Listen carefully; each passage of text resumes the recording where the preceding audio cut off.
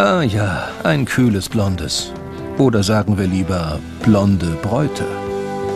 Das sind sie nämlich in Kolks blonde Bräute. Frauen gehören aber auch dazu. Das ist übrigens der Autor, Frank Schulz. Und hinter ihm kommt gerade sein größter Fan rein, Harry Rowold. Durch das Buch habe ich ihn kennengelernt, durch meinen ersten Roman, durch Kolksbonde Bräute. Ähm, wir waren im selben Verlag. Und ähm, als das damals erschien, 1991, hat er mich darauf angesprochen und seitdem verstehen wir uns sehr gut. Es ist aber auch ein klasse Buch.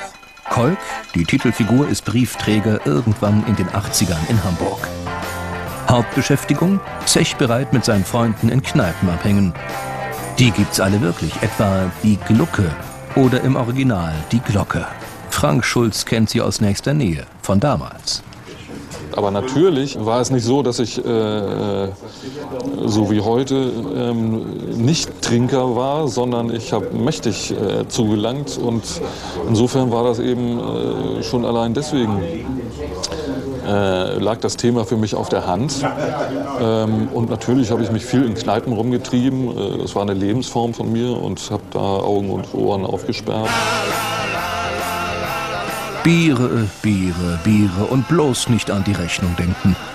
Es wird gesoffen, geraucht und hemmungslos herumphilosophiert. Schulz entwirft ein exzessives Hamburger Kneipenpanoptikum, wenn Kolk mit seinen Kumpels Skat kloppt und im breitesten Norddeutsch über Frauen sinniert.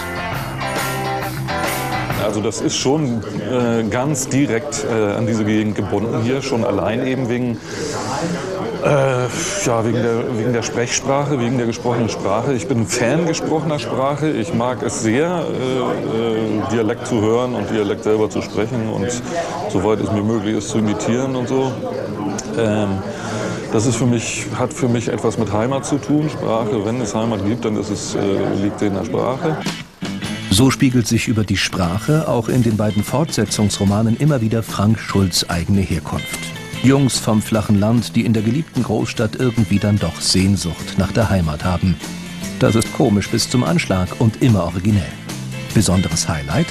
Auf seinen Lesungen ist oft Harry Rowold dabei. Außerdem haben wir festgestellt, dass wir ganz gerne zusammenlesen und mit verteuerten Rollen und so weiter. Er macht, erklärt sich dann freundlicherweise äh, bereit, äh, bestimmte Figuren aus meinem Kosmos da zu übernehmen und so weiter und kann sie dann mit seiner Stimmgewalt und seiner, seiner Fähigkeit, äh, verschiedene Typen und äh, Soziotypen und Dialekte und so weiter nachzuahmen, hervorragend verkörpern. Und das ist komisch. Versprochen.